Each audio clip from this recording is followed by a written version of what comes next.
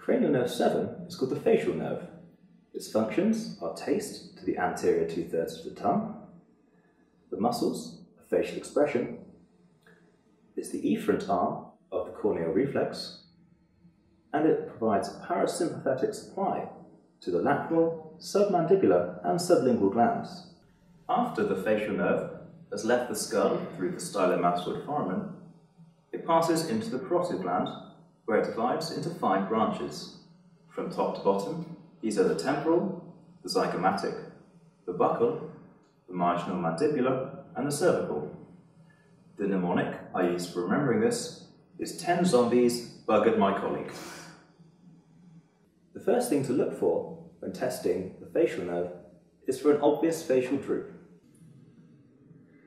of which this patient has none. Next, you go on to examine the muscles of facial expression. Would you please remove your glasses for me? And now raise your eyebrows up to the ceiling. And you're looking for the forehead creases to be equal on both sides.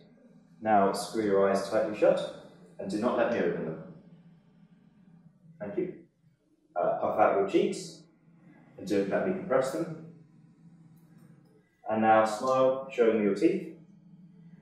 And you're looking for the smile to be symmetrical. Other tests that you can do for the facial nerve include using sugar applied to the anterior two-thirds of the tongue.